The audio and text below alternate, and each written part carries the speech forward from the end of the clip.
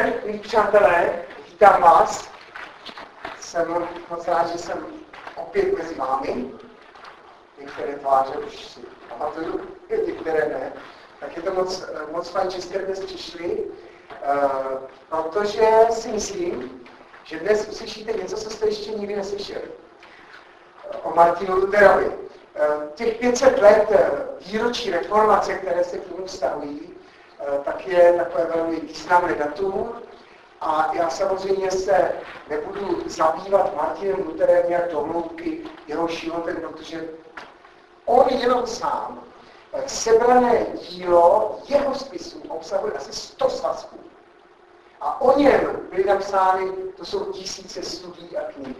Takže eh, je to strašně moc a ani bych nějak nezvládl probrat jeho život. A taky bych nechtěl vám říkat to, co si přečtete, když kliknete na Wikipedii, jestli Martin Luther, tak to téměř ode mě neuslyšíte, kromě toho, kdy se narodil, eh, protože to se může každý přečíst. A já jsem se zaměřil opravdu na eh, takové věci, které ani ve školách se moc neříkají a které si myslím, že jsou zajímavé. A sice, jak vlastně, jestli je vůbec nějaký vztah mezi Martinem Lutherem a mistrem Janem Husem. Jestli se znali, tedy Hus ho neznal, ale Martin Luther se znal. A vlastně jak potom, eh, jestli byly potom nějaké kontakty eh, s Martina Luthera do Čech. A myslím si, že budete možná trošku překvapení, jak to bylo. Eh, nebudu příliš nějak do podrobnosti rozebírat, co to byla reformace.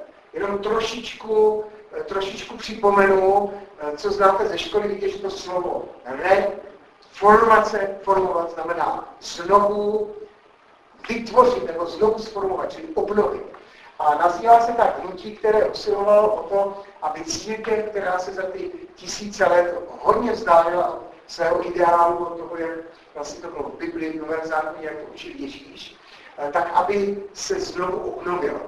Eh, je to, je to tak, že vlastně eh, za zhruba 1300 let od v počátku letopočtu do toho 13. století, tak vlastně z církve se stala taková vševládnoucí organizace, takový, takový molo, která vlastně ovládala všechno, ovládala politiku, papež ustanovoval krále, eh, církev vlastně byla, církev ovládala v podstatě život člověka od narození až do smrti. Když se miminko narodilo, tak eh, musel být pokřtěn, když nebylo, tak to bylo od začátku vyvrhel, potom přes všelijaké ty obřady a snětek až po smrt a zase, když církev toho člověka nepohřbila, tak zase musel být pohřbený někde, někde no a zase to byl vyvrhel. Čili eh, ten život středověkého člověka byl opravdu naprosto sešírován církví. A teď eh, církev měla monopol na to, co říká a co učí. My víme, že křesťanství, to je něco trošku jiného, křesťanství vlastně Ježíš učil učedníky a potom vlastně máme Bibli, nový zákon, který říká, jak má církev vypadat.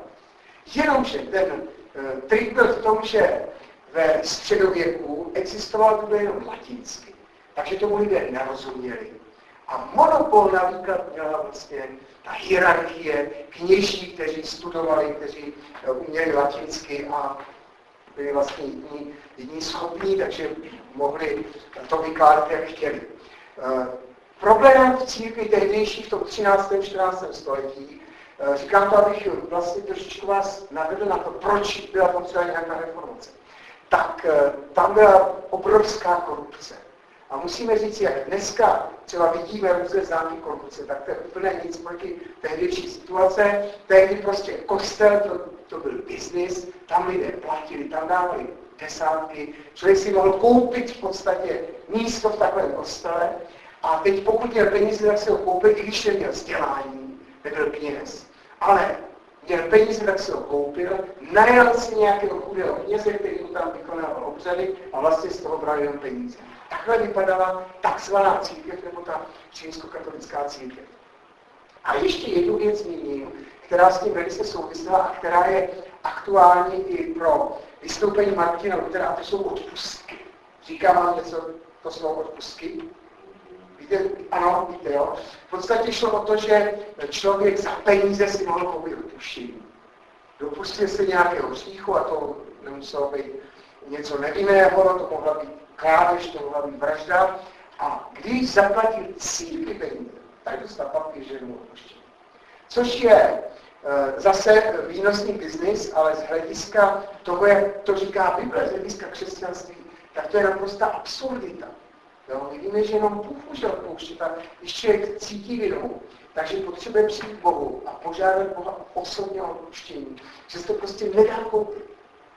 Nicméně tenkrát to bylo tak, že vlastně byly jako seznamy, takové knížečky, penitenciáře, kde byly seznamy příchu a tak si, kolik vlastně se za co vybírá. A ta církev tímhle způsobem eh, bohatla, jo, čili se a dal, prodávala odpustky třeba, to zemřel rodině. A ti lidé chtěli, jak mu bylo dobře po smrti, šli a koupili pro něj odpustek. Zase církev schromažovala peníze. Bylo spousta poctivých křesťanů, poctivých kněží, kteří na to upozorňovali a ty byli, buď byli upáleni nebo vyhnáni, prostě jim nebyl věnován žádný, eh, žádný nás, žádná pozornost. A ta snaha obnovit církve, církev, zbavit se té korupce se nazývá reformace. Tak to jenom stručně, eh, proč vlastně mluvíme 500 let reformace, vystoupení, které znamenalo obrovský, obrovské hnutí v celé církvi. Eh, ještě než eh, se dostanu k Lutherovi, tak eh, jak to vypadalo v Čechách? V Čechách to totiž bylo zajímavé, že tam začal tahle ta snaha, ta touha po obnově, tak začala o sto let dřív než v Německu. Jo? Proto historici někdy mluví o takzvané české reformaci a světové reformaci a německé reformaci takhle. A nebo první reformaci a druhé reformaci. Protože, to vím, možná si ještě ze školy vzpomínáte na jména Konrad Waldhauser, Jan Líc Kroměříče, Matěj Zjanova a samozřejmě Mr. Hus.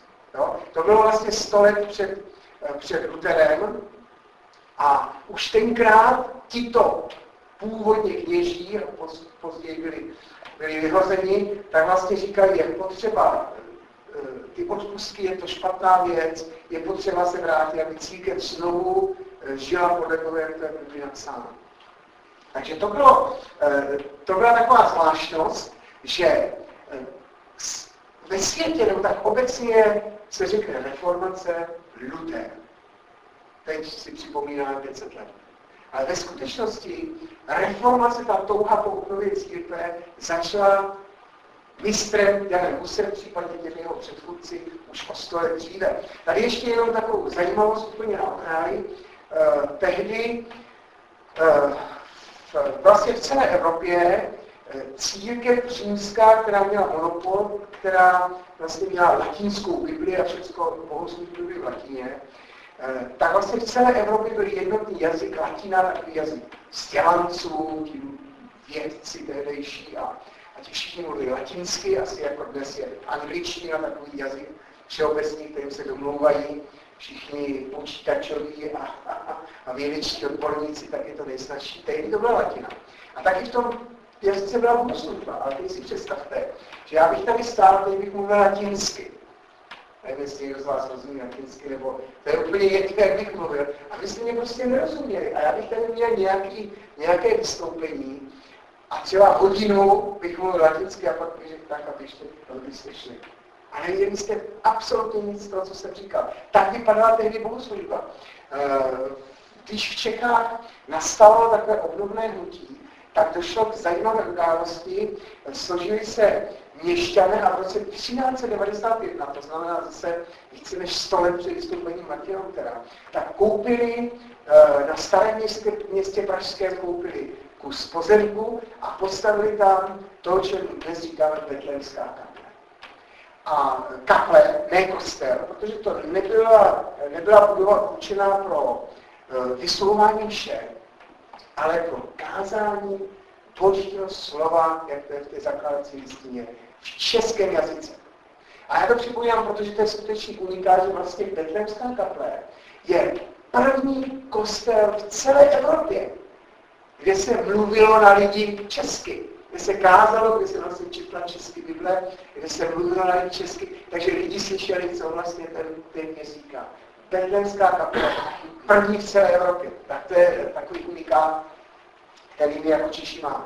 Ale zpátky, to byla, to byla česká reformace, víte, že Martin, že Mistian Hus byl upálen, byl odsouzen, potom vznikly husické války. A přestože husité úžasným způsobem vítězili vlastně všechny ty křižácké armády, které se valily do Čech, tak stroskotali, byli poraženi, byli vyhnáni, i když někdy měli setnásobnou přesilu. Že to opravdu nebylo třeba dvakrát, třikrát, ale třeba jich bylo dvěstěkrát víc. Tak husité vyhráli, ale přeci jenom válka nebo vítězství ve válce neznamená také vítězství duchovní tak ta země byla dál rozvrácena a tehdy malá skupinka, a to zase to je odbočka na druhou stranu, malá skupinka lidí, kteří, eh, kteří opravdu toužili potom žít eh, spravedlivým, poctivým, čistým životem, tak se uchýlili do, ve východních Čechách, do Půvaru, tam dostali od, od Jiřího Spoděbrat vypálenou vesnici, kde nikdo nebydlel, která se jmenovala Půvar, tam založili společenství, které se nazývá, nazývalo později, než si říkali bratři a sestry zákona Kristova, a potom se nazývali jednota bratrská. A tohle to se stalo 1456 nebo 1457, někdy na přelomu toho roku. Eh, o deset let později si zvolili vlastní kněze a ta církvička česká, eh, to je vlastně zajímavé, že to je skutečně církev, která má český původ, která vznikla tady, která nepřišla od ze zahraničí, tak rostla a e, po určitém období, kdy oni, oni opravdu se distancovali a odešli na tu vesnici a říkali, a město to je špatný, to je sídlo veškerého zlá, tam, tam sídlí ďábel a, teď, a mezi nás nesmí nikdo, žádní vojáci, žádní obchodníci, žádní herci se nesměli přistěhovat do toho kurvalu. Nikdo vzdělaný, kdo měl vyšší než základní vzdělání, tak tam nesměl, protože oni měli tu zkušenost, že ty studovali, ti kněží a ti taky akorát obelhávali a byli to akorát, měli to za takový symbol zla. Takže to bylo období nějakých 20, 30, 40 let, ale postupně začali přicházet na to, že ne každý, kdo je studovaný, že musí být špatný, takže eh, přijali ze sebe i, i vzdělané lidi, například univerzitního mistra uh, Lukáše Pražského Jenom tohle to jméno zmíním, abych vás příliš nezatěžoval jmény. A to byl velmi vzdělaný, eh, vzdělaný eh, profesor, eh, který nejdřív patřil do husické církve podobují, ale potom mu byly sympatické ty ideály bratřské vstoupil a stal se takovým, takovým mozkem a myslitelem a obhájcem jednoty bratřské. Takže tento Lukáš Pražský vstoupil do jednoty 1481 a tady už to propojujeme české a světové dějiny. O dva roky později se narodil v německém Eislebenu Martin Luther. Hle. Tak, takže vlastně Lukáš vstupuje do jednoty bratrské a o dva roky později se narodil zpátky. To vy nebo já? Tak se narodil v německém Eislebenu, takhle vypadal zhruba ten rodný domek, ve kterém se narodil. Eh, rekonstrukce dnes je tam muzeum. A eh, narodil se, a to je také vlastně zajímavé, on se narodil do rodiny horníka. Eh, měl sedm sourozenců, ale ten jeho otec byl velmi šikovný, byl to velmi schopný podnikatel, takže se vypracoval a domohl se poměrně značného bohatství, takže si mohl dovolit poslat, poslat své děti na studium. Takže Martina poslal na studium do Erfurtu. V tehdejší době to byla jedna z nejlepších univerzit. Martin studoval výtečně, ve 22 letech se stal magistrem. To svědčí o tom, že opravdu byla hlava otevřená. Otec z něj chtěl mít právníka. To už bylo tenkrát, že rodiče plánovali svým dětem kariéru a, a moc se asi nezměnilo, že i dnes rodiče chtějí mít dítě doktora nebo právníka, tak stejně tak ten otec, eh, který byl, začínal jako pouhý dělník, tak chtěl, aby jeho syn byl vyštovan, aby byl právník. Najednou se stalo něco a Martin utíká ze školy, utíká z práv a vstupuje do kláštera. Poprosím další obrázek, to je augustinianský klášter Erfurtu, který dosud, eh, dosud stojí, eh, důkladná stavba, takže tady pravděpodobně někde Martin Luther chodil. Podle legendy se to stalo tehdy, že Martin prožil nějakou bůžku, uhodil dres, a on se lekl a řekl svatá, ano, jestli se z toho dostanu vstoupit do kláštera. Ale to je legenda, která není nikde potvrzená. A podle eh, nejnovějších bádání, tak tam se stalo ještě něco trochu jiného, co mnohé vysvětluje. Víte, že Martin Luther vlastně po tom vstupu do kláštera, takže trpěl obrovskými pocity viny, nedostatečnosti, strachu, strachu před Bohem, takové deprese. Eh, k tomu ještě se dostanu. Eh, ukazuje se, a našli jste tedy na to doklady, že studenti, eh, jak jsou takový divocí, měli právo na té Erfurtské univerzitě nosit kort. A Martin to s ním moc neuměl. Dokonce je nějaký záznam, že se při nějaké nepopatrné manipulaci s kordem, že se zranil.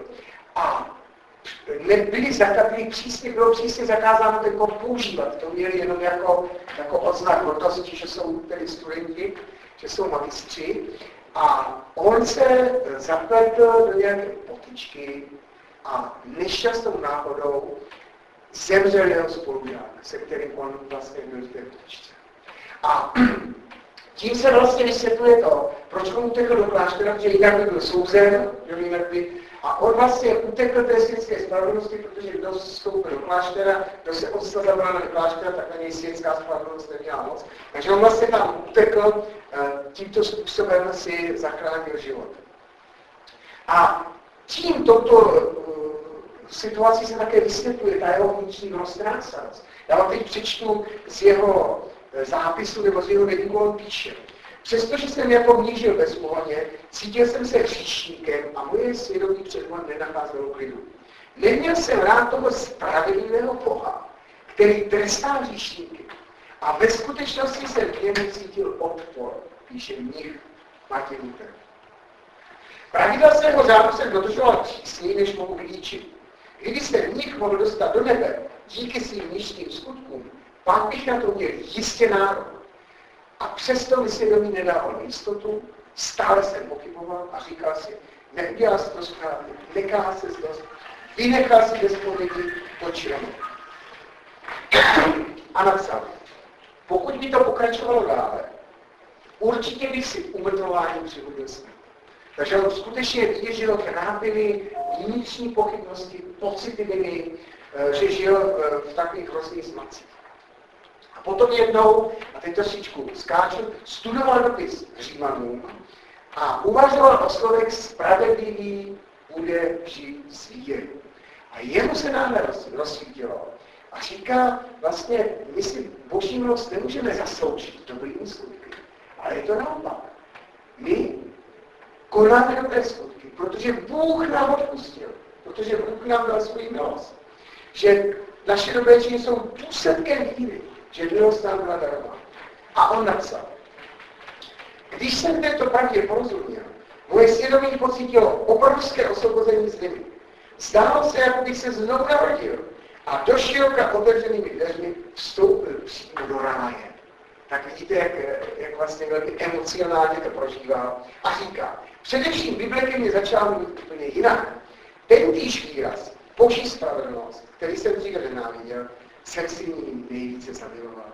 Tyto pasáže se pro mě staly vstupem do nebe, celé písmo mi ukázalo jinou tvář. E, takže e, Martin při studiu Bible najednou pochopil, že celý ten koncept té středověké církve, když si mohl člověk, člověk zaplatil a vlastně tím si získal nějaké nějaké odpuštění, že je úplně špatně, že to nepomáhá lidskému svědomí a že jedině, jedině může člověk získat odpuštění, když se obrátí a prožije, že vlastně Bůh sám odpouští. A teď se trošičku propojit historii. 1507 byl Martin Luther vysvěcen na kněze V té době, 1508 v Čechách, byl vydán tzv. svatojakubský mandát, to byl přísný, to byl výnos, přísný zákon, který byl namířen tvrdě proti eh, ne, eh, nekatolickým, speciálně proti jednotě bratrské. Eh, kostely se zavíraly, kněží byli vyháněni, vězněni a nastal vlastně nejkrutější pronásledování za celou tu dobu. A tímto mandátem byla jednota bratrská vystavena velmi tvrdému pronásledování. Jako obranu bratr Lukáš Pražský napsal, čemu vlastně jednota bratrská věří, aby ukázal, že nejsou žádní bludaři, že nejsou heretici, že stojí pevně na písmu, tak napsal takzvanou obranu eh, a v roce 1511 v Norimberku vydal latinsky pod názvem Apologia Sacra Scriptura, obrana svatých písem. V Norimberku a tuhle tu knížku, ta se dostala do. Tam vlastně poprvé, jako by se dočítá, dovídá, to už měl jasno v, v tom porozumění boží milosti, už o tom začíná kázat. A dokonce e, zmiňuje v jedné přednášce, že něco podobného četl od těch českých pikantů, ale obecně samozřejmě Čechy stále za, za velké, e, velké bludaře. V roce 1512 se stává doktorem teologie, získává biblickou profesuru ve Wittenbergu, přednáší filozofii a teologii a jeho přednášky přidávaly k obrovské množství studentů. Eh, to městečko Wittenberg, které mělo asi 2000 obyvatel, nebylo schopné vůbec ubytovat ty studenty, kteří se hlásili eh, na fakultu a chtěli chodit na Lutherovu přednášky. Takže byl velmi populární a některé z těch eh, jeho spisů potom se dál šířily. Také v tu, v tu dobu eh, se začíná pomaličku zabývat překladem Bible, on potom eh, přeložil vlastně celý nový zákon, ale už při těch přednáškách, tak on vychází z původního textu. Bible byla napsána starý zákon hebrejsky, nový zákon řecky. Jak už jsem řekl, vlastně ve středověku to bylo všechno z latiny, Bible přeložena do latiny a z toho se potom vlastně jako by to se používalo, když Luther šel přímo do těch originálních jazyků a i to znovu to byl vlastně nový pohled, takže to přitahovalo obrovské množství studentů. A teď, 31. října 1517, jsme u toho data, to je za chvilku, to je vlastně to výročí těch 500 let. Co se stalo? Událost, která eh, vešla do dějin a na památku té události se slaví tzv. Den reformace. Každý rok se připomíná. Co bylo? Eh, byla to tak důležitá událost, že někteří říkají, že to je začátek novověku. Takže novověk vlastně, někteří počítají novověk od uh, vynálezu knižtisku, někteří od objevení Ameriky Krištofem Kolumbem, to bylo 1492, ale někteří říkají ne, novověk začal 1517, když vystoupil Martin Luther. Toho dne vlastně Martino eh, kritika zazněla tak, že už to nebylo možné přeseknout. Poprosím další obrázek. Eh, to je eh, Martin Luther jako mladý profesor na fakultě ve Wittenbergu.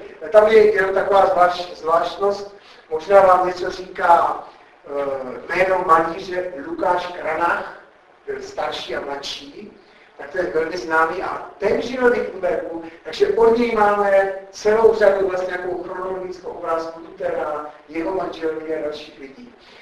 takže to je jeden z těch obrazů Lukáše Granacha z roku, je tam, tam jiného. Je to ještě jako augustiniánský kněz, když přednášel na fakultě ve Wittenbergu. Tak, další obrázek poprosím. Eh, papež Lev desátý potřeboval finance na dostavbu chrámu, tak vydal půlu. Tady jsem vám, jenom abyste si dovolili představit, jak taková půla vypadala. V podstatě to bylo jako když dneska vyjde zákon. To byl prostě předpis, který byl platný, všichni museli posednout. Tohle je půla z roku 1642, to znamená o trošičku mladší. Poprosím další obrázek. To je chrám svatého Petra v Římě. Možná už to určitě viděli, možná se tam někteří byli, byli jste někdo přímě. Eh, a ještě poprosím další, to je Petrským náměstím, podívejte se, to je nádherná stavba. to samozřejmě musel někdo zafinancovat. Ve středověku to bylo tak, že vlastně ty daně schrabovala nejenom panovník, ale taky církev. Ještě další obrázek tam, abyste viděli tu nádhernou zlatou výzdobu. Na tohle to potřeboval papež peníze. Tak vydal že se vypisují nové odpustky. Takže kdo máte nějaký hříchy, pojďte, zaplatíte, bude vám odpuštěno.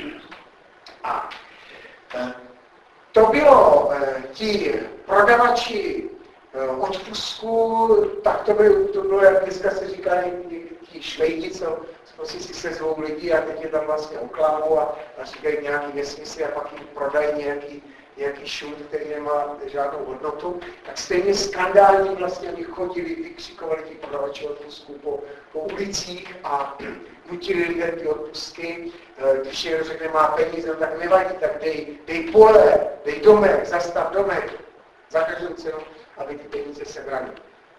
A uh, Martin Luther, když vám řeknu tu legendu, legenda praví, že on toho 31. na Dveře Kostravy, Wittenbergu, přibyl 95 mezi proti odpustkům a tím vlastně spustil takovou lavinu obnovy a reformace. Tendence příští obrázek, prosím. A to jsou ty teze. A to už jsou vytištěné. Takže ta, ta legenda, jak on, jak on přibíjí, možná ještě tam další obrázek bude, jak to tam přibíjí. Ano, jo. Jak vlastně přibíjí ty teze na ten kostel, tak to je samozřejmě to je nádherná symbolika, najdete to ve všech učebnicích dějepisu. A tady se dostávám k tomu, co možná jste nevěděli. Nicméně dneska je více-méně eh, jisté, že to je opravdu jenom legenda. Mhm. Eh, řeknu vám, řeknu vám pár argumentů. První písemný záznam o tom, že by Luther měl připomínky teze, je o 30 let později po této události. Z pera, z pera Filipa Melanchtona který v tu dobu ve Wittenbergu vůbec nebyl. Přišel tam až o rok později. Luther sám se o tom nikdy nezmínuje, nikdy to neříká. A vlastně tato historka, jak přibyl ty teze, tak se začíná vyprávět až po jeho smrti. Takže opravdu, a ještě, ještě vám řeknu další argument, eh, je to nádherná legenda, přibyl a ty jeho údery zní jako zvon, který probouzí Evropu. Jak se někdy můžete to dočíst. Nicméně to tak těžko mohlo být z toho důvodu, že těch 95 tezí bylo sepsáno latinsky. Ještě když se zkusíme vrátit zpátky, eh, tak eh, tady vidíte vlastně, jak to vypadalo. A latinsky sepsané teze nebylo nic pro obyčejné lidi, tomu, tomu prostě lidé nemohli rozumět. Luther ve skutečnosti ani nebyl rád, nebo on neměl v úmyslu to rozšiřovat, to je zase doloženo, že on to zamýšlel jako základ pro teologickou disputaci, diskuzi a poslal to e, příslušným nařízením, to byl jeho světící biskup Jeroným Schulz a papežský komisař pro odpustky arcibiskup Albrecht z Magdeburgu a Mohuče. Ten arcibiskup Albrecht, to byla zajímavá postava, ten, ten se na něj hrozně naštval, když mu ten vlastně uh, překazil vybírání odpustku, protože tenhle ten, to byl pa, takový papež, papežský zmocněnec, zmocněnec pro odpustky, který vlastně měl na starosti jejich distribuci, jejich prodej. A tento tak údajný arcibiskup, tak vlastně si tu funkci koupil, vzal si na to půjčku od bankovního domu. A vlastně z těch peněz, co vybral, tak byli dohodnutí, že polovičku pošle papeži na ten chrám a z polovičky zaplatí ten dluh, tu půjčku, kterou si vzal na aby si koupil úřad arcibiskupa z Magdeburgu a z Tak se nedívte, že když potom e, se lidé postavili proti a e, přestali se ty odpustky podávat, že byl, že byl naštvaný a dělal, co mohl, aby, aby teda očernil. E, takže eh, Luther to opravdu poslal těchto těm nadřízeným, tím mu vůbec neodpověděli, Luther píše papeži, stěžuje si mu, že, eh, že mu neodpověděli, ale ten Albrecht ho nazval mnichem a okamžitě začal s ním proces v Římě, nastartoval proces o kacířství, eh, protože, jak říkám, nemohl splatit, splatit to, jak si koupil ten svůj úřad. Luther těch 95 tezí poslal několika svým přátelům. Jedním z nich byl Eh, člověk eh, z Norimberka, který měl zase přítele tiskaře, ten tiskař vlastně to vzal a bez vědomí Lutera tak to rozmnožil a rozšířil a vytiskl. Takhle se těch 95 kteří začalo šířit a už koncem roku 1517, teď jsme v konci října, už vlastně na konci roku, tak už byly v Bazileji, nejenom v Norimberku, v Lipsku, v Bazileji, byly obrovsky rozšířené a získali, eh, získali obrovský oblast, protože to bylo mezi lidmi živé a ty, ty pro odpustku to bylo opravdu obrovské površení. Zase teď propojím historii s tou českou. V tu dobu, když se tohle dělo, 1517, tak jednota bratrská už má, už vlastně 60 let existuje. 60 hmm. let vlastně už se ta církvička vyvíjí, už překonala takové sektářské začátky, už eh, začala být eh, známá, má mezi sebou vzdělané učené muže, Lukáš Pajský, který uh, mluví německy, latinsky, píšou německy, latinsky, uh, tisknou, když to bylo potom v době pro následování možné u nás, tak prostě si tisknou věci v Lipsku nebo v Norimbergu. Tak existuje jedna batická 60 let. A teďko v, ve světě, v Evropě, tak Češi mají pověst, těch nejhorších kacířů, těch největších bludařů, nejzelenějších nepřátel církve. A to si o nich myslí i augustinianský profesor na teologické fakultě ve Wittenbergu Martin Luther. Zdá se téměř nemožné, že by mohl někdy změnit názor, ale změnil a došlo k tomu zase zvláštní, jedna událost se stala, kdy došlo eh, k takovému obratu. A to je zase událost, kterou, která mi se hrozně líbí a naštěstí moc se o ní neví a v životě jsem to neslyšel někde, nebo ani moc nečetl v nějakých knížkách, až potom, když jsme měli dějiny na teologické fakultě, tak tam vlastně poprvé jsem slyšel, kde došlo k takovému radikálnímu obratu. Eh, Luther, když napsal ty teze proti odpustům, neznal Husa, neznal on sám bylo to výsledek jeho studia Bible. To, jak on vlastně četl Bible a viděl, to je špatně, to je nesmysl, či on se obrátil na základě svého vlastního poznání, jeho vlastního studia. O Husovi z oficiálního učení římské církve tak slyšel, že to je ludař, že to je kacíš, rozvolník, rozvlací církve a tak dále. Jak jsem řekl, když se mu dostala eh, do rukou potom jedna Husova knížka, tak byl velice překvapen, ale to, co e, způsobilo naprostý obrat, tak byla takzvaná lidská disputace. Ta se odehrála 1519, to znamená dva roky po e, zveřejnění jeho tezí, disputace v Lipsku. Teďka se udělám takovou trošku počku, e, zeptám se vás, jestli vám to něco říká, to jsou disputace. Já vás nechci nějak podceňovat, ale přeci jenom trošičku, aby, abych přiblížil to slovo latinské znamená vlastně, slyšíme tam, slyšíme tam diskuzi, eh, vzájemné povídání. V tehdejší době, v tom středověku, to v podstatě bylo něco jako vědecká konference. To, co dneska je, že se sjedou vědci a mají tam referáty, takovou funkci plnila teologická diskutace, kdy bylo dáno nějaké téma, nějaká teze a antiteze, něco a něco proti, a byli pověřeni, a čím to byla známější univerzita, známější lidé, tím větší kapacity. A vlastně jeden hájí jeden názor a druhý hájí jeden názor. Každý dostal svůj nějaký čas, kdy to vyložil a ten druhý to jakoby proti, e, proti tomu mluvil. A tímto způsobem se, se příbyly e, názory většinou teologické, většinou šlo témata teologie, e, někdy i Bible, ale většinou takové teologie, která, moc, která byla hodně třeba teoretická. Nicméně, tenkrát nebyly, tenkrát nebylo kino, tenkrát nebyla televize, nebyly, nebylo video. Ty disputace byly velmi oblíbené. Lidé na ně chodili, protože je to zajímavé, dokonce někteří panovníci byli nadšenci pro, pro tyhle ty disputace, takže nebylo výjimkou, že na takovou disputaci sledovali stovky lidí v nějaké té univerzitní aule. Takže to byla disputace. A my jsme teď v Lipsku a Luther čelí eh, jednomu z nejvzdělanějších teologů tehdejší doby, eh, vícekancléř Ingolstadtské univerzity dr. Johann Mayer Steku.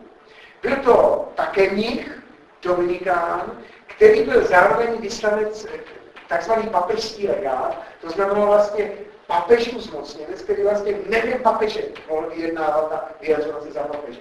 To říkám proto, abyste viděli, že to opravdu byl člověk, který měl vysoké postavení v té hierarchii a byl to, byl to bystrý, chytrý člověk, dneska bychom řekli taková teologická opravdu extra třída. Ten stojí eh, proti Martinu Lutherovi. Disputace se rozjela a teď začali snášet argumenty, protiargumenty, jsou tam samozřejmě o, o, o to, co Martin Luther kritizoval, odpustky, eh, papeže, koncil. A teď eh, Martin Luther říká, ani papež, ani koncil nemají poslední slovo, protože se mohou mílit. Takže prostě nejsou ti tou nejvyšší autoritou, když to oficiální učení římsko-katolické církve, které zastával ten doktor Eck, tak bylo samozřejmě, že papež nejvyšší a, a co řekne, to je pravda a tak dále. A když, te, když Martin Luther tedy zastával ty své teze, poprosím další obrázek, jak vidíte toho doktora Eka, ne, ještě, ještě, ano, tady ještě Martin přivíjí, e, další stvárnění, tak tohle je doktor Johan Meyer EKU, velmi, velmi učený, velmi vzdělaný muž.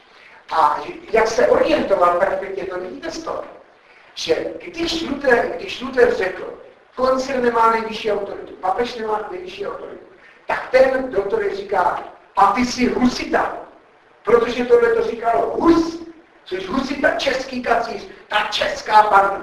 A Luther, Luther se cítil uražen, do hlouby své duše. Říkal, já nejsem husita. Ty husiti, to byli kacíři, to byla prostě banda nepřátel církve. Do, dobře prostě, že jsme s nima zatočili. Ale já jsem, já jsem věrný křesťan.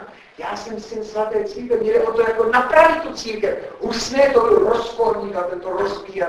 Ale já jsem věrný syn. Tak mě neurážejte, že jsem husita. Eh, další obrázek. Kdyby vás to zajímalo, tak ta lidská disputace je zachycená, můžete si přečíst. A opravdu je, ta, je tam zajímavé ty některé, ty některé výkřiky tam číst. E, trošičku e, ten požitek z té četby skutečnost, e, že to je latinsky. Vydané v Německu, ale ten text je latinský, ale trošičku, když se orientujete, tak přeci jen tam opravdu můžete najít ty momenty, kdy se ten uráží, že není žádný musita, a tak pochybuje, že je musita. A e, z té, z té disputační právě nebo z toho textu je vidět, že tak opravdu byl zaskočen, protože nevěděl, co se dělo čeká. Nezná tu situaci. Tak mohl se jenom bránit, ne, to byli kacíři, to je jasný, a jako byl zaskočen. A e, tomu Ekovi namítá, na rozdíl od Čechů, kteří rozvrátili církev, já nechci rozvrátit církev. Já chci reformovat, já chci obnovit, já chci návrat písmu. Nicméně eh, mu to nedalo a eh, když eh, jeden den té disputace byla polední přestávka, tak si zašel do knihovny, kde měli akta kostnického procesu. On si to nechal přečíst, přinést a začal se do toho a prožil naprostý šok. Protože vlastně zjistil, že to, co on říká, že sto let před ním říkal ten Hus. Hmm. Že to není vůbec jistý, on úplně mu to zkazil náladu, že se nemohl najít, pak přišel legenda praví, že byl otrálený, že prostě mě takhle najdený. Nicméně prostě zjišťuje, že mnohé z úsobých myšlenek, koncilem odsouzené, jsou naprosto křesťanské a evangelické. A teď to, co opravdu mě na něm fascinuje, on se vrátil e, na tu disputaci po obědě a řekl, ano, jsem Husita. A Hus byl pravý a církve. Koncil se mýlil a odsoudil je právě. Až dosud nevědá, učil jsem a zastával všechny zásady Jana Husa. Všichni zkrátka jsme nevědomky husité. Ano, sám Pavel, a poštol Pavel, a Augustin, svatý Augustin byla obrovská autorita té ano, sám Pavel a Augustin jsou doslova husité. Tak si představte, co to tam muselo způsobit za, za výbuch. samozřejmě okamžitě ti jeho protivníci zajásali. A tak konečně se přiznáváme ho kacíř a, a na hranici s ním okamžitě rozjeli to inkviziční řízení. Češi, kteří byli na té disputaci, tak se naopak zavadovali a poslali mu pouzbuzující dopis a on reagoval, že tím byl pouzbuzující zase napsal jim. A vlastně od této chvíle Eh, tak potom v této chvíli vlastně nastává, do té doby Luther opravdu se snažil o obnovu a považoval se za, za řádného kněze a myslel si, že je možné vlastně se navrátit reformace. A tímto momentem, když řekl Anse Rosita, tak se vlastně sám zařadil mezi ty kacíře a pak se rozjel inkviziční řízení a, a papež poslal půl, kterou ho Eh, exkomunikoval, který spátil a oni potom se rozhodli, že ho teda zabijí a, a eh, jeho, eh, ten, kdo ho chránil, vlastně jaký ochránce Filip Moudrý, tak ten fingoval únos, že jakoby Lutra přepadli a unesli, a ve skutečnosti to byl jeho ochránce a odvezl na Warburg a tam ho ukryl na tři roky, kde ho, kde ho chránil a tam ten měl tři roky klíče přeložil Eh, nový zákon. A potom ta historie šla dál. Ale to bychom zase už asi moc... Uh, Já mám ještě pro vás jeden bonus dneska, tak nesmím se moc zapomínat. Uh, a to, potom vlastně, to už asi je celkem známá historie, ale tohle to ta lipská disputace vlastně je klíčový moment, kdy Luther objevil Husa. Kdy byl přesvědčen, to byl kacíř, ale já tady mě jde obnovu a vlastně čte ty e, projevy kostnický a říká, no, to je ono, proti odpustku. Říká, že, že papež a koncernová je hlavní slovo, ale Ježíš, písma, jo, vidí, no, to je, já vlastně myslíte. Takže to je, to je takový moment. Teď zase trošičku přeskočím. Uh, mohli bychom další obrázek co se nám tam objeví. A to je, jo, dobrý, to tam nechám. Eh, tak ty vlastně kontakty do Čech, to je ta další taková zajímavá eh, kapitolka. Eh, ty čeští účastníci, kteří byli na té disputaci, jak jsem říkal, napsali pozůzující dopis, poslali mu Husovu postilu. Postila to je vlastně sbírka kázání na každou neděli v roce, tak mu poslali tu Husovu postilu. Husní byl úplně nadšen. Říká, jak mohli jak mohli upálit člověka, který takhle stojí na Bibli. Teď on opravdu vykládá písma. A představte si, že byl tak nadšen, v březnu 1520 ji vydal vlastní nákladem s předmluvou 2000 tisíců, když se rozebrala za půl roku druhé vydání. Luther vydává Husovou postilu. A doporučuje a říká, e, protože to je, doporučoval na přednáškách přátelům a říká, je to vysoce rozumná, ušlechtilá křesťanská kniha, a kdo ji četli, spatřují v ní téměř zázrak. Takovým dojmem na ní zapůsobila, zapůsobily e, úvahy, e, ta erudice, opravdu, jako by, řekl bych dnešními slovy, ta, ta odborná úroveň úsobí biblických zamýšlení, tak na ní velice zapůsobilo. A pak tím vlastně začaly kontakty Čech a zase tady přeskočím, to vzniklo tak, že nějaký luterský kněz se setkal s jednotou bratrskou a teď eh, napsal jinému luterskému knězi, jak to tedy je, a ten si s tím nevěděl, no tak poslal ty otázky Luterovi, Luther zase odpověděl a takhle jako by se nějak začali domlouvat, že Luther si šel do těch bratrské. 1522 oficiálně Lukáš Pražský napsal Luterovi dopis a poslal mu výklad katechismu. To znamená, eh, Katechismus je takové vyznání víry. Katechismus vlastně, tam je vysvětleno, čemu ta církev věří.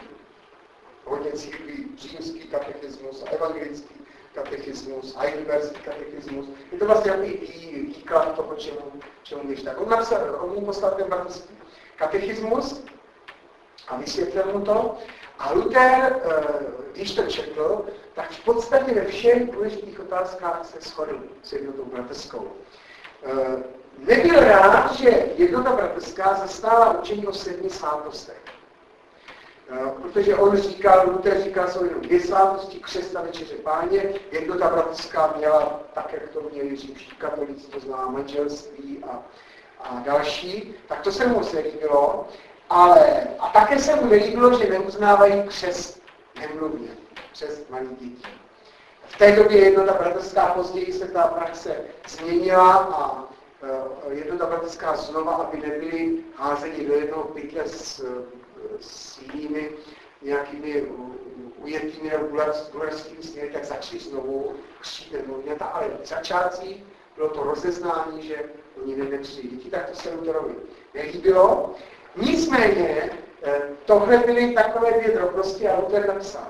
V té míře jsem nikde na světě nenalezl takové čistoty Evangelia jako u Tak to je taky opravdu taková poklona, bych řekl, té jednotě bratrské, té české církvi, která tady vzniká. Eh, začala výměna názorů, Luther chtěl vysvětlení více o večeři páně. To byla tehdy velmi živá otázka, taková složitá, asi vás moc to nezajímá, abych nějak šel do hloubky. Eh, římská církev říkala, že se chléb a víno, že se proměňuje v tělo krev páně. Eh, Luther říkal, že se, že se to neproměňuje, že to zůstává chléb a víno, ale že ta božská podstata se k tomu připojuje a bratři ti měli takový spíš kalvinistický výklad, že to jsou jenom prostě symboly, Kristus je přítomný, přítomen neviditelně duchovně, ale nic se, nic se nemění. A takže v tom se začali diskutovat a on požádal bratry, aby to vysvětlili. Takže Lukáš se psal uh, spis nazvaný počtu vydání a ne o pravdě vítězné. V latině poslal to Lutherovi. A Luther odpověděl spisem, eh, který kládá svoje poznání, jak on rozumí té večeře pány Eucharistii a tak, jak to měl ten Lukáš, ty body, tak Luther mu také na ty body odpovídá, tak to je taky velmi zajímavé čtení, v čem se vlastně liší, v čem, v čem jsou ty rozdíly. A e, na to Lukáš Pražský napsal tenhle ten spis, který tady vidíte, a sice celý název toho spisu, to ani není celý název spisu na té první stránce, ten spis se jmenuje takhle. Odpověď bratří na spis Martina Lutera, kterýž německým jazykem učiní vytisknoutí dál, v němž oznamuje, co by se mu při bratřích vidělo za pravé, a co v pochybnosti ne nezrozumění, načež mu zase zprávu podle písem svatých slušnou činí Čech a Moravy léta 1523. Tak to je slušný název takhle se jmenoval ten spisek, který zase o bratři kde Luther napsal eh, německou odpověď, oni to přeložili do češtiny, vydali to česky, ten, ty Lutherovi, eh, to Lutherovo povídání, sám Lukáš napsal, přeložili to a poslali to. Poslali jsme to zase Lutherovi a tímto způsobem vlastně probíhala taková teologická, názorová výměna, názorová diskuze. V té době byly eh, jednota bratská začala posílat studenty do Wittenbergu, eh, že tam začali studovat a došlo k takovému zúžení. A Luther eh, měl k Čechám takový opravdu zvláštní vztah. On totiž se snažil Čechy zapojit do té své reformace.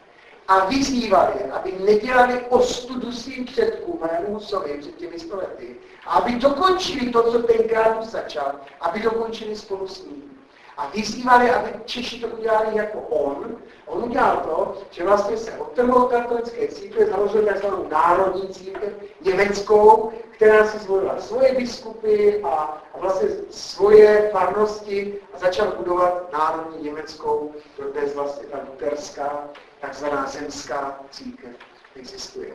A teď on vyzývá Čechy, aby to udělali stejně, aby se odtrhli a zvolili si arcibiskupa a začali budovat tu církev a napsal, měl jsem za to, že byl nejvyšší čas, abychom se českých věcí ujali a Čechy s námi a nás s nimi zase uvedli do jednoty. Aby konečně přestala různá rouhání, zášť a závist na obou stranách. Takže tam byla opravdu snaha nějak tu reformaci z Evropště, když použiju ty moderní termíny, aby se Češi připojili a také se odtrhli do té římské církve. A nicméně to nevyšlo, my víme, že vlastně v té české reformaci byly různé proudy, byly tam, byly tam táboři, ty byly radikální, potom to husické hnutí se rozdělilo, že ty tábory radikální na ty pražany takzvané měš, městské spíš obyvatelstvo, které bylo ke kompromisu a spíš, aby nějak přežili. A nakonec tedy se došlo k tomu k takovému kompromisu, bazilejská kompaktáta, zdánlivě jakoby ústupek, ale ve skutečnosti šlo o to, tu českou reformaci udusit. Takže tam k tomu nedošlo, to, co doporučoval Luther a jak se to ubíralo jiným směrem. Nicméně, faktem zůstává, a to je, to si myslím, že je poměrně unikátní, že s žádnou jinou skupinou Luther nejednal tak často a tak podrobně, jako s tou českou církvičkou jednotlivenskou. A druhá věc. Za dobu jeho života nebylo přeloženo tolik spisů do žádného jiného jazyka jako do češtiny. Opravdu ty jeho knížky, ta jednota bratrská to vydávala, tiskla a ty, ty kontakty byly velmi úzké. Podíváme se, poprosím další obrázek. Tak to je potom už Martin Luther. Další zase je to Lukáš Krák starší. To je 1526. To znamená, to už je doba vlastně, kdy komunikoval eh, s Čechy. To je, ta lidská disputace byla 1519, čili to už, to už vlastně on začal budovat tu svoji církev. Další obrázek. A tak to je, to už se mu daří stále lépe a lépe. E, takže to je ještě další obrázek a ten další. A, tak to zpátky, to je jeho žena Katka, jestli ještě nějaký. Tak, takže tolik, tolik jsem chtěl říct vlastně, že v té světové reformaci, já myslím, že to je opravdu není příliš eh, moc známé, tak eh, Češi a vztah k Čechům, tak u toho Lutera měl opravdu zvláštní, zvláštní takové postavení, takové místo. Nejenom to, že byl osloven těmi, tím, co psal Mistrianus, a také, že se potom snažili nějaké Čechy, eh, i jednotu Bertskou, ale i utraklisty. Snažili se na ně působit, aby tedy se dodělala reformace, aby se to změnilo a Češi naopak jeho, eh, jeho velice moc přijímali. Úplně na závěr mám tu takové, takové tři, tři body. Víte, když člověk přemýšlí, mohli bychom si říct, co tak se nás netýká se stalo dál 500 let, jak, jakoby, co, to, co to pro nás znamená. Já myslím, že to, že to něco pro nás znamená, že vlastně my můžeme být, eh, máme být na co hrdí. Vlastně my jsme měli, eh, my jsme měli překlad do češtiny dřív, než Martin Luther začal překládat Bibli do Němčiny. Eh, sto let před tím jeho vystoupením Eh, akorát u nás tehdy byla jiná konspirace, tenkrát prostě malá zemička a už se prostě upálili. Luther měl to štěstí nebo tu výhodu, že se za něj postavili místní vládcové a potom se Německo začalo dělit na ty regiony evangelické nebo protestantské takzvané, takže tam už, tam už jemu potom už tak moc šlo o život, byla jiná historická situace a vlastně sto let předtím, než nastala ta úžasná věc, světová reformace, tak už tady u nás, to znělo. A, a mistr Jankus vlastně to nedokázal. Tak to je, to je taková, ta, taková, myslím že to je něco, na co může být hrdý. Druhá věc, která e, se mi, které si na Martinovi Lutherovi vážím, je jeho, jeho přímost, jeho opravdu takový takový chlapský postoj. I když on byl, eh, on byl velmi problematický člověk, to vám musím říct, ano, to není dneska večer čas, eh, nebyl ideální, měl spoustu chyb, třeba byl antisemický, velmi zaměřen proti židům. Židy považoval za zdroj všeho zla, zvlášť potom ke, ke stáru v těch pozdějších spisech. Eh, tak se oni vyjadřuje velmi vybíravě. Takže tím nechci říct, že byl ideální, měl prostě své chyby. A je tam spousta věcí, se kterými by, bychom nesouhlasili. Ale mě se na něm líbí a vážím si toho, že on prostě, když, když zjistil, že e, přišel na to samé, co ten kacíř tak nepolitikařil, aby nějak začal lavírovat a nějak prostě, nějak, aby si udržel, já nevím co, dobré jméno, nebo aby mu nehrozila. Ne, on vystoupil a řekl, ano, pustím pravdu, koncil se míře. A já se prostě usítal. Přestože tím si nad sebou v tu chvíli podepsal Ortel, který mohl skončit smrtí, neskončil, říkám, byla jiná eh, ta historická doba. Takže ta jeho, jeho odvaha, eh, ta je opravdu příkladná. Takže to je taková, eh, taková druhá věc. Tak, sedm hodin, ještě mi držíte chvilku. No, nejste už příliš unavení. To je hrozně Ale já mám pro vás bonus totiž. Protože e, ve skutečnosti e, málem se reformace nekonala. Kdyby nebylo jedné osoby. A víte, kdo to byl? To byla Lukerova manželka Kateřina Ondora, knížka bývalá. A to se shodli historici, že reformace by vypadala úplně jinak, jestli by vůbec byla. Tak jenom, jenom pár slov o té kapce, poprosím o, aby, o promítnutí. E, to byla jeptiška ze von Bora, ze schudlé šlechtické rodiny saské. V šesti letech jim umřela maminka, takže e, tatínek ji dal do kláštera, někdy v 15 letech potom šla do jiného kláštera, kde její teta byla abatyše, takže se stala mnížkou. Když se začaly šířit Lutherovy spisy a, a reformační myšlenky, dorazili i do tohoto kláštera a byla taková skupina mníšek, které se proto nadchly.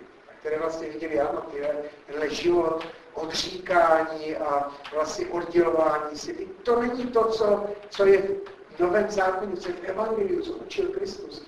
A tak skontaktovali Lutera a e, on zařídil přes jednoho známého, e, že v zásobovacím voze, který vozil sudy s herinkama, tak když se vracel s prázdnými baňami, tak se tam těch 9 nebo 10 děvčišek, to není přesně, neví se přesně kolik, tak se tam schovali a prostě je z toho kláštera vyvezli a zdali. Nemohli se vrátit samozřejmě domů, tam by je čekal trest. Útěk z kláštera se považoval za porušení vlastně toho slibu řeholního. A to byl až hrdelní zločin, to mohli skončit i jakoby smrtí, takže domů nemohli přijít, tak kam, tak šli do Wittenberg Zonte. Luther najednou tam měl 9 nebo 10 mníšek, tak samozřejmě cítil zodpovědnost se za ně o ně postarat, tak se snažil, eh, téměř všechny je provdal, našel jim prostě ženichy, spolehlivé evangelické. No akorát tenhle Katka zůstala na oce, také měla ženicha, to ten z nějaké také, také lepší měšťanské rodiny z Drážďan, tuším.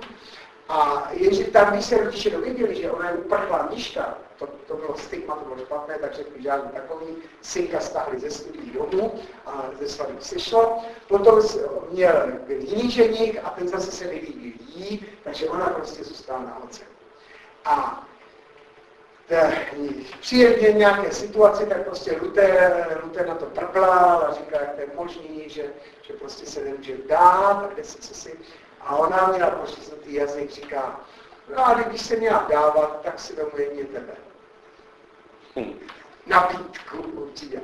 Jemu byl tam prostě 16 let, jo? jemu bylo 42, tak ho to zaskočilo a pak mu to měl vrtal hlavou a skutečně s ním vzal Oženil se s ním. Já jsem si tady koukat, kde mám ty papíry. Já jsem si ty papíry s Katkou doma. To nevadí. Tak jenom vám neřeknu přesně ty datumy. Ale mám vím, že to bylo 1732, kdy se, kdy se s ním oženil a vzal si A ona se ujala, dostali od toho místního pána Eh, nepoužívaný augustinianský klášter, to, tam to byl Erfurt, co jsme viděli, tohle bylo ve Wittenbergu, to bylo jiný, tam to byl pustý, tam nic nebylo, eh, takže ten dostali a eh, tam se ubytovali. A ona byla velmi činorodá žena okamžitě, to dala opravit, vymalovat, zařídila chlívek, kde začala pěstovat prasata, slepice, z zahrady udělala zeleninovou zahradu, kde pěstovala prostě zeleninu, eh, potom Lutera přiměla, aby koupili další. Jo, ještě takhle, ona vlastně se ujala, ona v podstatě, Luther sám přiznával, že nebyl příliš pořádný. Jo, píše, že třeba rok si vůbec nevyměnil eh, slámu ve slavníku a dokonce ten slavník ani si nenaklepal, ani neotočil. Jemu to prostě bylo jedno. Eh, peníze, měl dobrý plat jako profesor univerzitní, všecko rozdal. Žebrák, chudý potřebný veřejnou chudý. Načež paní Katka se toho teda ujala velmi razantně, financí, domácnosti, přiměla ho, aby koupili další pozemek s rybníkem, nasadila tam ryby, takže potom vlastně na stůl si Luther mohl vybírat kapsy, štiky, candáty, já nevím, ještě čtyři druhy ryb eh, si mohl vybírat na stůl. A teďko zjistila, že ten klášter bývalý, že vlastně měl válečné právo, tak začal vařit pivo. A to Luther velmi chutnalo, on si každý večer si dal na usnutí, jak říká, taky mu to pomáhalo údajně na žaludeční problémy, eh, když byl starší, byl poměrně dost nemocen. To pivo mu tak chutnalo, že jednou musel na několik měsíců někde za těmi správnými úkoly odcestovat, tak píše kapce, ať mu pošle soudek, že se mu, že mu to velice chybí, ten šláv trubík, ať mu se pošle soudek jejího dobrého piva. Takže, a teď vlastně ona tu domácnost musela se postavit, všechno to zkoučovat e, v tom obrovském domě, tak aby zase si vydělali, tak tam ubytovávali studenty a ty studenti tam samozřejmě platili, ale zároveň tam byli na stravu. Takže eh, pravidelně k jídlu se scházelo kolem 40 lidí. Jo? Studenti, samozřejmě čeledí, děvečky, to všechno nezvládala sama, čeledí, děvečky, kteří se starali, pak začala chovat dobytek, jo, začala pěstovat chmel, eh, vysázela vinici, prostě úžasná žena. Luther z legrací říkal, můj pan Katka. Jakože Razatí píše, když jí píše dopisy, tak jí píše uh, uh, pivovarnici a, a pivovarnici a velitelce prasečího trhu ve Wittenbergu. Jo. Opravdu velmi, velmi podnikavá žena. Uh, ona jednala s nakladateli o vydání Lutherových spisů, o finanční stránce. Na tohle všechno na to Luther byl tak nějak mimo. A ty badatelé se opravdu shodují, že to, že měl takovýhle servis, tak se mohl věnovat psaní, překládání, té zprávě církve, že organizování, eh, protože komplet ona se postavila o všechno a že kdyby nebylo jí, tak opravdu se neví, kudy by se ta reformace ubírala. To je takový oficiální názor. No samozřejmě to eh, taková žena od rány, ta nebude příjemná všem. To i dnes jsou muži, kteří nesnášejí schopné ženy. Takže ji říkali, někteří nazývali Xantipa reformace. No, nicméně byla to, byla to žena, která byla taky velmi, která měla široké srdce. Když byl mor, tak pracovala v hospicu, vedla hospic a sama tam vlastně sloužila těm nemocným. Měli šest dětí vlastních, nějaké úřady dětství, plus asi devět adoptovaných od Lutherových eh, tuším sester, eh, sirotky, umřelých rodiče, tak oni si je vzali.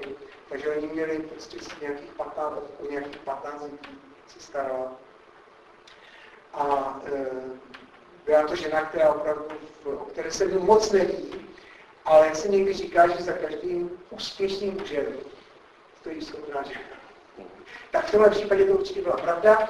Eh, ten její konec byl trošku smutný, Luther umřel dřív, eh, ona zemřela až 6 let po něm a tenkrát takto postavení ženy, to bylo opravdu tristní, žena, ona po něm nemohla dědit, bylo velmi složité Lutheru za svého života už se snažil nějak zařídit, aby ona něm mohla vlastně ten dům a ty majetky zdědit, tenkrát manželka nemohla dědit, neměla žádné postavení, žádné právo, takže ve chvíli, kdy Martin Luther zemřel, tak eh, teď ještě byly války, byly, eh, přišel mor, takže ona musela s těmi dětmi utíkat a eh, život už pro ně byl opravdu velmi těžký.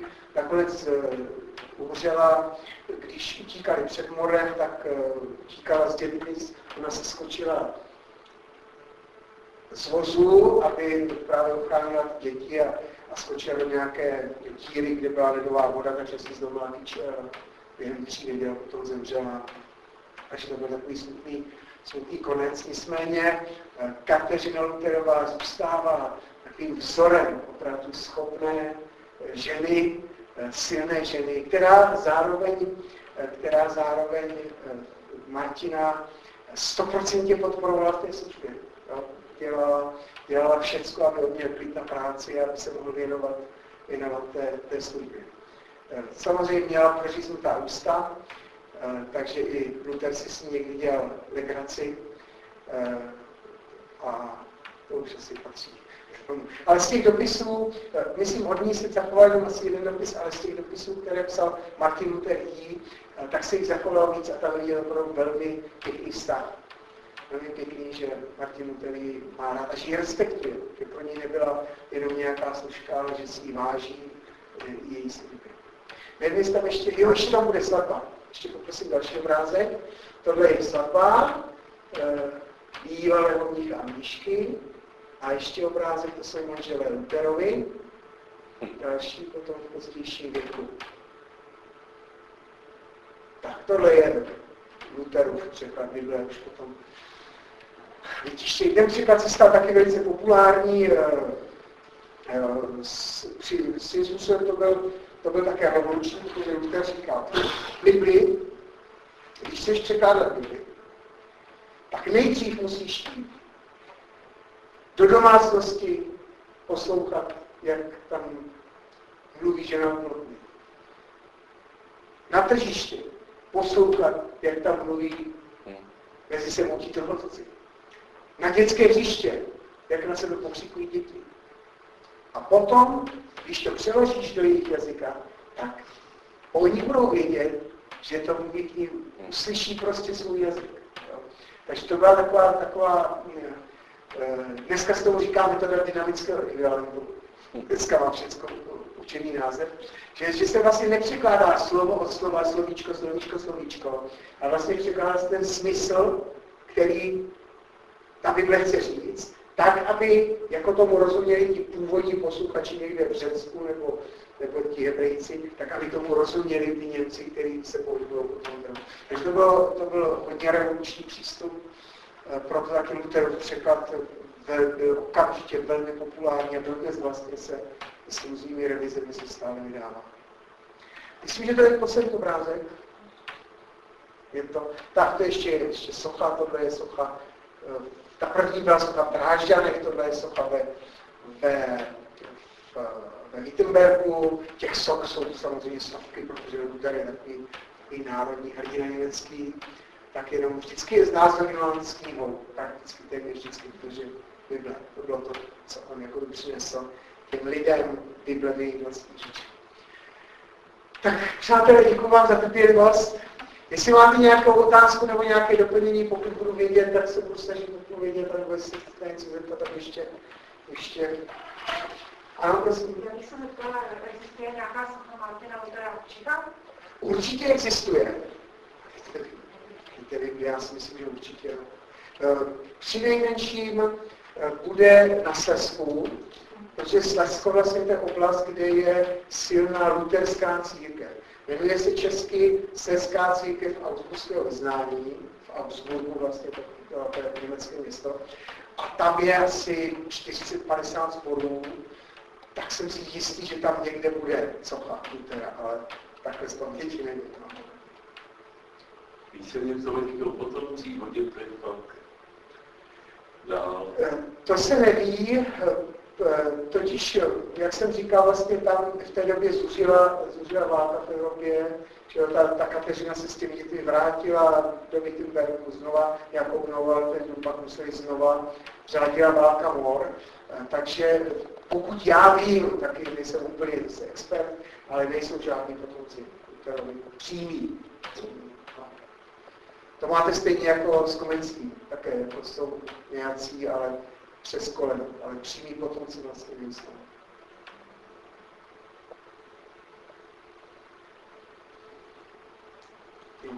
Tak jenom úplně nakonec ještě, ještě připomenu, to, co je, to, co je opravdu důležité, eh, a to, co, eh, to, co myslím, jako když se řekne Luther, tak člověk si uvědomí spasení z milosti. Prostě člověk může poznat Boha a to je pro, to je pro věřící, to je pro nevěřící, Bůh je člověk ho může poznat, ale jako nejde, nejde to koupit. Není to něco, eh, co by si člověk mohl zasloužit, vydělat, ne.